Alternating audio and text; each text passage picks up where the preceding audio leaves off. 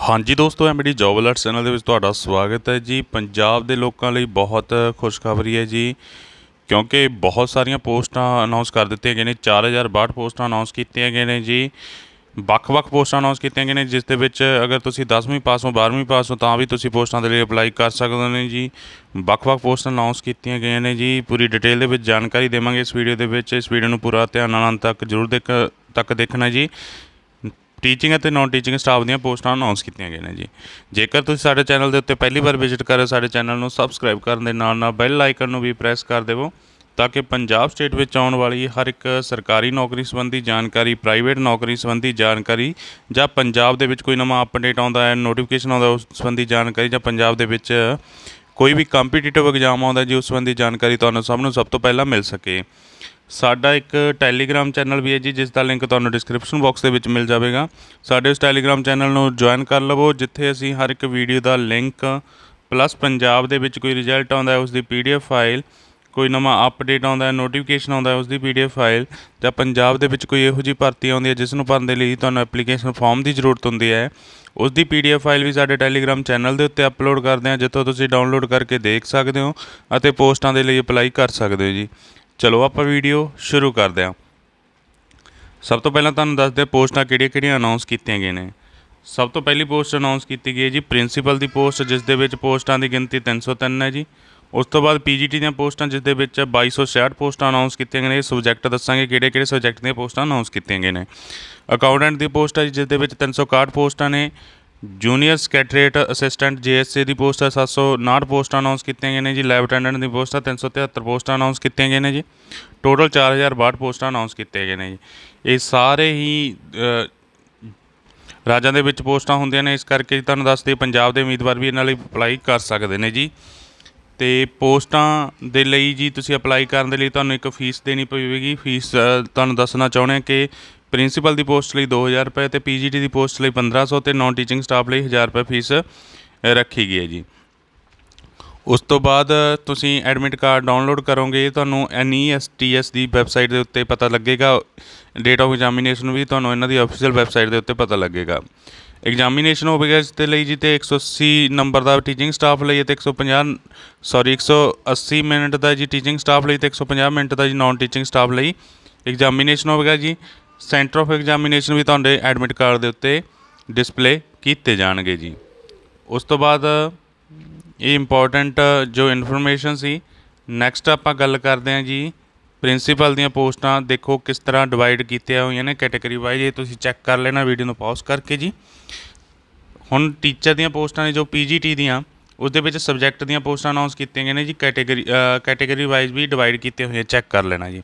ਪੋਸਟਾਂ ਸਬਜੈਕਟ ਦੀਆਂ ਨੇ ਜੀ English Hindi math chemistry physics biology history geography commerce economics computer science 11 ਵਿਸ਼ੇ ਦੀਆਂ ਪੋਸਟਾਂ ਅਨਾਉਂਸ ਕੀਤੀਆਂ ਗਈਆਂ ਨੇ ਜੀ, ਉਸ ਤੋਂ ਬਾਅਦ ਨੈਕਸਟ ਹੈ ਮਰਾਠੀ ਓੜੀਆ ਤੇਲਗੂ, ਸੰਸਕ੍ਰਿਤ, ਬੰਗਾਲੀ ਤੇ ਸੰਥਾਲੀ ਜੀ।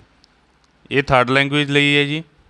ਉਸ ਤੋਂ ਬਾਅਦ ਨੈਕਸਟ ਪੋਸਟਾਂ ਜੀ ਨਾਨ ਟੀਚਿੰਗ ਸਟਾਫ ਦੀਆਂ ਜਿਸ ਦੇ ਵਿੱਚ junior secretariat assistant accountant lab attendant ਦੀਆਂ ਪੋਸਟਾਂ ਨੇ, ਜਿਸ ਨੂੰ ਕੈਟਾਗਰੀ ਵਾਈਜ਼ ਇਸ ਪ੍ਰਕਾਰ ਵੰਡਿਆ ਹੋਇਆ ਹੈਗਾ ਜੀ। ਠੀਕ ਹੈ ਜੀ ਨੈਕਸਟ ਆਪਾਂ ਗੱਲ ਕਰੀਏ ਜੀ ਉਧਰ ਕੁਝ ਇਨਸਟਰਕਸ਼ਨ ਦਿੱਤੀਆਂ, ਇਹ ਚੰਗੀ ਤਰ੍ਹਾਂ ਤੁਸੀਂ ਪੜ੍ਹ ਲੈਣੀਆਂ ਹੈਗੀਆਂ। ਨੈਕਸਟ ਹੈ ਜੀ ਪੇ ਲੈਵਲ ਦੀ ਗੱਲ ਕਰੀਏ ਤਾਂ ਪ੍ਰਿੰਸੀਪਲ ਲਈ 78800 ਤੋਂ ਲੈ ਕੇ 292000 ਰੁਪਏ ਪ੍ਰਤੀ ਮਹੀਨਾ ਤਨਖਾਹ ਦਿੱਤੀ ਜਾਵੇਗੀ ਜੀ।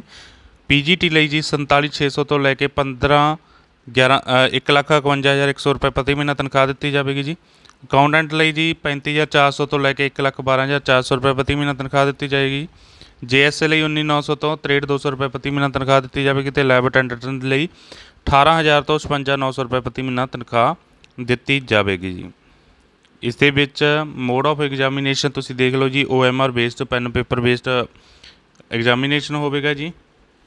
ਐਗਜ਼ਾਮ ਪੈਟਰਨ ਤੁਸੀਂ ਚੈੱਕ ਕਰ ਸਕਦੇ ਹੋ ਜੀ ਪ੍ਰਿੰਸੀਪਲ ਲਈ ਇਸ ਤਰ੍ਹਾਂ ਦਾ ਐਗਜ਼ਾਮ ਪੈਟਰਨ ਆਵੇਗਾ ਅਤੇ ਪੀਜੀਟੀਜ਼ ਲਈ ਇਸ ਤਰ੍ਹਾਂ ਦਾ ਐਗਜ਼ਾਮ ਪੈਟਰਨ ਆਵੇਗਾ ਤੇ ਅਕਾਊਂਟੈਂਟ ਲਈ ਇਸ ਤਰ੍ਹਾਂ ਦਾ।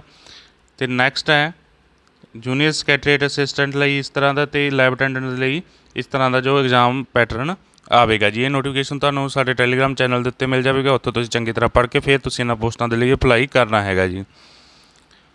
ਨੈਕਸਟ ਸਿਲੇਬਸ ਹੈਗਾ ਤੇ ਜਨਰਲ ਇਨਸਟਰਕਸ਼ਨਸ ਨੇ ਜੀ, ਇਹ ਚੰਗੀ ਤਰ੍ਹਾਂ ਪੜ੍ਹ ਲੈਣੀਆਂ। ਫਿਰ ਹੀ ਤੁਸੀਂ ਇਹਨਾਂ ਪੋਸਟਾਂ ਦੇ ਲਈ ਅਪਲਾਈ ਕਰਨਾ ਹੈਗਾ ਜੀ। ਕੁਝ ਟਰਮ ਐਂਡ ਕੰਡੀਸ਼ਨਸ ਨੇ ਜੀ।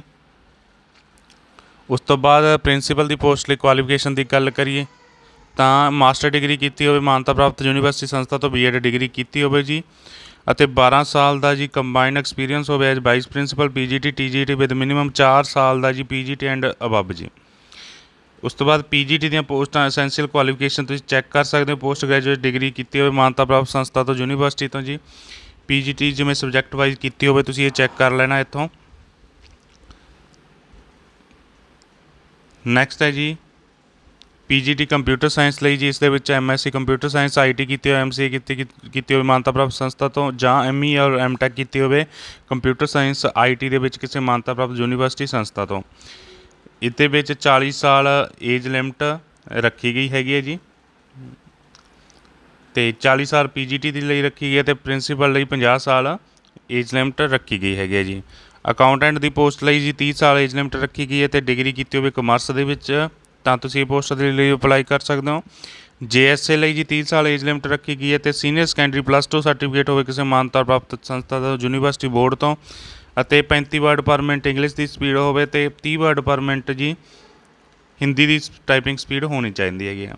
ਲੈਬ ਅਟੈਂਡੈਂਟ ਦੀ ਪੋਸਟ ਹੈ ਜੀ 30 ਸਾਲ ਏਜ ਲਿਮਟ ਰੱਖੀ ਗਈ ਹੈ ਜੀ 55 ਉਸ ਤੋਂ ਬਾਅਦ 10ਵੀਂ ਤੁਸੀਂ ਪਾਸ ਕੀਤੀ ਹੋਵੇ, ਕਿਸੇ ਮਾਨਤਾ ਪ੍ਰਾਪਤ ਸੰਸਥਾ ਤੋਂ ਡਿਪਲੋਮਾ ਕੀਤਾ ਹੋਵੇ ਲੈਬੋਰੇਟਰੀ ਟੈਕਨੀਕ ਦਾ ਜੀ, ਜਾਂ 12ਵੀਂ ਕਲਾਸ ਕੀਤੀ ਹੋਵੇ ਸਾਇੰਸ ਵਿਸ਼ੇ ਨਾਲ ਜੀ ਮਾਨਤਾ ਪ੍ਰਾਪਤ ਸੰਸਥਾ ਯੂਨੀਵਰਸਿਟੀ ਤੋਂ ਤਾਂ ਤੁਸੀਂ ਇਹ ਪੋਸਟ ਦੇ ਲਈ ਅਪਲਾਈ ਕਰ ਸਕਦੇ ਹੋ, ਹੈਗੇ ਹੋ ਜੀ। ਏਜ ਰਿਲੈਕਸੇਸ਼ਨ ਤੁਸੀਂ ਚੈੱਕ ਕਰ ਸਕਦੇ ਹੋ, ਗਵਰਨਮੈਂਟ ਆਫ ਇੰਡੀਆ ਦੇ ਰੂਲਸ ਐਂਡ ਰੈਗੂਲੇਸ਼ਨ ਦੇ ਅਕੋਰਡਿੰਗ ਮਿਲੇਗੀ ਜੀ। ਕੁਝ ਟਰਮ ਐਂਡ ਕੰਡੀਸ਼ਨ ਨੇ ਚੰਗੀ ਤਰ੍ਹਾਂ ਪੜ੍ਹ ਲੈਣੀਆਂ ਹੈਗੀਆਂ ਜੀ, ਫਿਰ ਤੁਸੀਂ ਇਹਨਾਂ ਪੋਸਟਾਂ ਦੇ ਲਈ ਅਪਲਾਈ ਕਰਨਾ ਹੋਏਗਾ ਜੀ। ਇਹ ਕੁਝ ਫਾਰਮੈਟ ਦਿੱਤੇ ਹੋਏ ਨੇ ਜੀ ਸਰਟੀਫਿਕੇਟ ਬਣਾਉਣ ਲਈ। ਇਹ ਪੋਸਟਾਂ ਅਨਾਉਂਸ ਕੀਤੀਆਂ ਗਈਆਂ ਨੇ ਜੀ ਇਕਲਵਿਆ ਮੋਡਲ ਰੈਜ਼ੀਡੈਂਸ਼ੀਅਲ ਸਕੂਲ ਨੇ ਜੀ, ਜੋ ਕਿ ਮਨਿਸਟਰੀ ਆਫ ਟਰਾਈਬਲ ਅਫੇਅਰਜ਼ ਵੱਲੋਂ ਚਲਾਏ ਜਾ ਰਹੇ ਨੇ ਜੀ। ਉਹਨਾਂ ਦੇ ਵਿੱਚ ਪੋਸਟਾਂ ਅਨਾਉਂਸ ਕੀਤੀਆਂ ਗਈਆਂ ਹੈਗੀਆਂ ਜਿਸ ਸਕੂਲ ਦੇ ਵਿੱਚ ਪੋਸਟਾਂ ਅਨਾਉਂਸ ਕੀਤੀਆਂ ਗਈਆਂ ਹੈਗੀਆਂ ਜੀ।